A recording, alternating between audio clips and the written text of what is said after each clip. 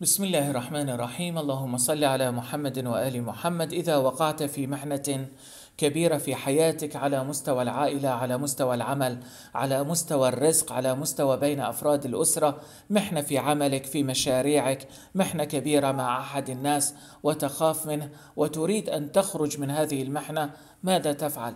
رجاء رجاء استمع رجاء استمعي قال الإمام الصادق عليه السلام هذا دعاء المحنة لنا أهل البيت وهو الدعاء الذي دعا به مولاي الأمير علي عليه السلام لما نام على فراش رسول الله صلى الله عليه وآله. والدعاء هو بسم الله الرحمن الرحيم. اللهم صل على محمد وآل محمد. يا من ليس معه رب يدعى. يا من ليس فوقه خالق يخشى. يا من ليس دونه إله يتقى.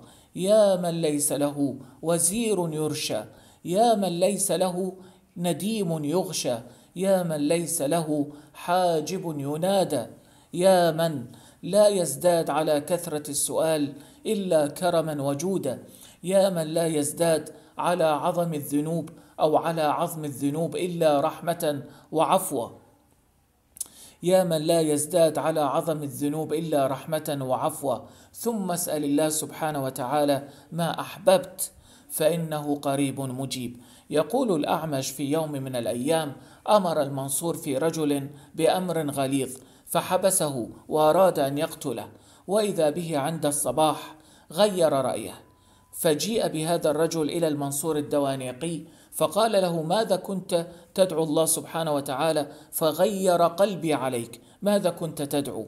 أردت أن أقتلك في هذا الصباح وإذا بي أريد أن أعفو عنك وأريد أن أهديك ثيابا وناقة وحصانا أي جوادا إلى غير ذلك. فقال له إنما دعوت بدعاء المحنة دعاء المحنة لأهل البيت عليهم السلام. وقلت بعد ذلك دعاء مولاي الصادق عليه السلام.